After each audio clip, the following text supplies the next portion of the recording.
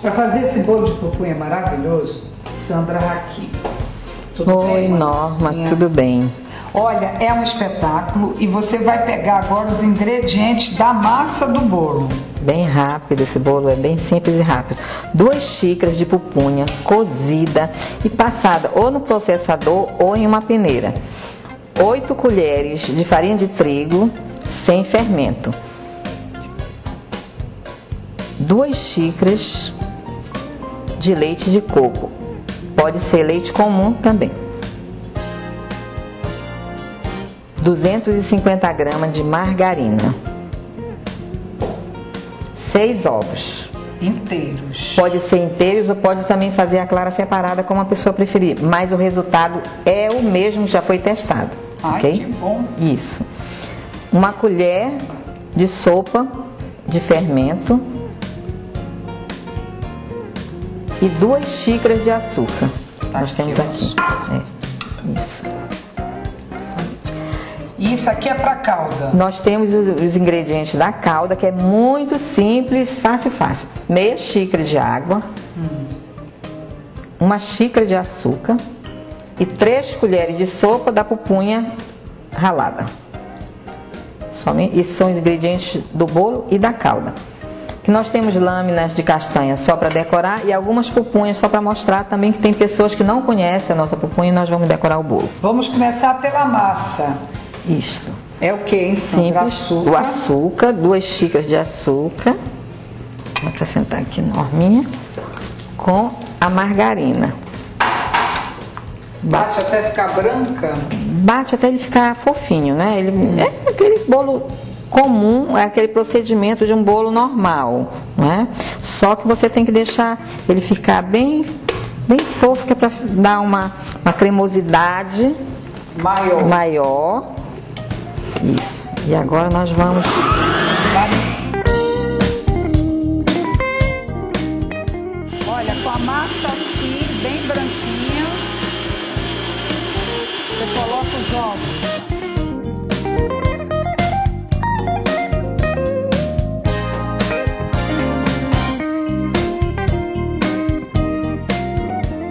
Precisa bater muito, né? Não, o procedimento é este. Nós vamos agora tirar e misturar os outros ingredientes aqui.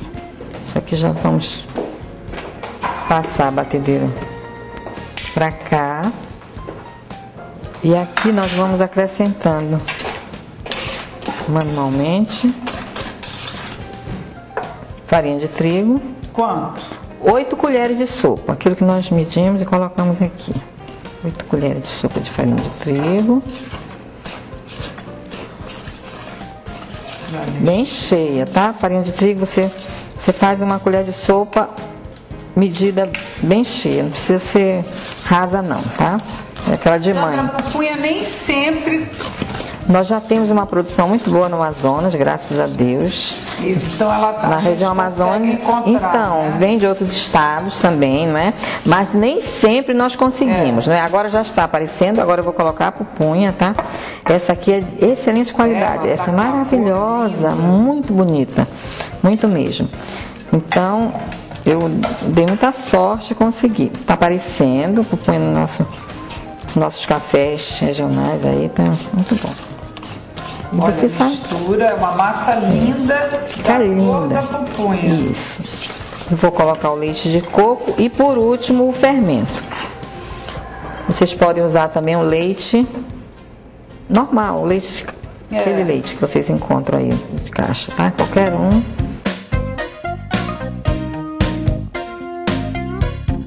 É que o leite de coco, eu, pro meu paladar, ele fica mais gostoso. Fica, fica muito é simples, né? Muito simples.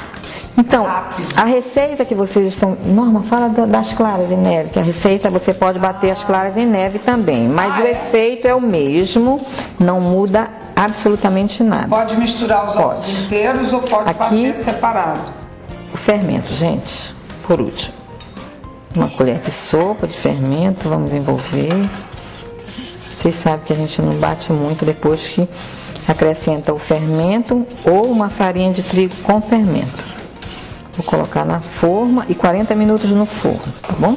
É uma forma untada? Untada com margarina e farinha de trigo. 40 minutinhos no forno normal, suficiente.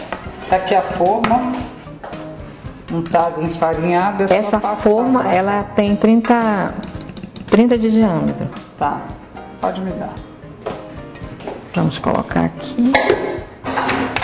E agora fica muito bonita essa massa, olha só. É linda, olha a cor da pupunha. É. Então, o, fogo é pra, o forno é pré-aquecido? Eu faço 180 graus pré-aquecido. Eu, quando eu processo a pupunha ou passo na peneira, eu tenho cuidado de deixar algumas, alguns caroços maiores, assim. Pra você sentir. Entendeu? Para você ficar bem, ela ficar bem caracterizada no bolo, aparecer bem. Vai pro forno 40 minutos. Isso. Pré-aquecido, 180 graus. O bolo tá assando no forno, enquanto isso vamos fazer a calda, né, Sandra? Isso, vamos. Acende o fogo. Meia xícara de água. Eu vou colocar com essa mão aqui. E uma xícara de açúcar. É uma calda rala, ela vai ferver pouco, porque nós vamos acrescentar a pupunha e a pupunha é uma geleia. Você sabe que ela tem aquela pectina, ela solta, ela engrossa como um amido. Ah. Isso. Então nós vamos só dar uma mexida bem rápida, deixar ela dar uma fervurinha. Ela não precisa ficar com cor de caramelo, tá? Ela vai ficar uma caldinha, vai ferver. Se eu quiser colocar três cravinhos, que na, já tem uma pronta ali e já está com cravo, três cravinhos, só para ela Dá um, dar um aroma, um aroma. E essa pupunha que tu vai então, adicionar? Eu vou é adicionar. Já, também. A mesma da, da massa tá? São três colheres. E se você deixar de um dia para o outro, ela fica uma geleia. Olha que então, Você pode usar até no pão, ok? Vai dar uma fervura bem rápida e eu vou acrescentar. Aí quando ferver já fica prontinho. Pode usar em cima do seu bolo.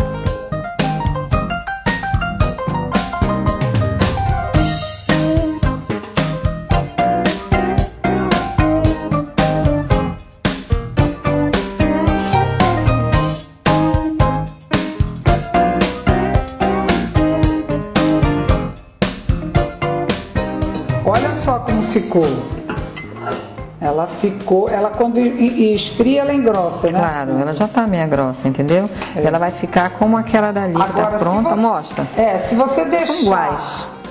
de na geladeira de um dia para o outro, ela fica um pouco mais escura Isso. e mais consistente. Isso, ela vai ficar, quando esfriar, essa vai ficar igual, não? É uma geleia mesmo. Uma geleia. Ok. Bolo pronto, olha que coisa linda. É, a cor fica bonita. Pupunha é uma cor linda, né? Que é. tem. Aqui nós temos a calda. Que também é de, também é de pupunha, ok? Vamos colocar por cima. Hum. Uma calda generosa. Se você não quiser servir com a calda, você deixa essa calda à parte numa molheira, tá, Norma? Porque também é. fica muito. Se for para tomar café, eu, tem gente que prefere sem a calda. Sem a calda. Mas se for num, num outro evento, um chá, até no happy hour você Mas pode colocar. Bonito, fica. Né? Fica. Olha, eu acho lindo. Cor maravilhosa. Colocar Agora o pulo aqui. do gato da Sandra é esse crocante aqui, dá uma olhada. Olha que espetáculo. Então a gente vai colocar por aqui, tá? Olha que espetáculo! Pode fazer essa receita que você vai amar. Você vai colocar aqui pelo lado um pouquinho.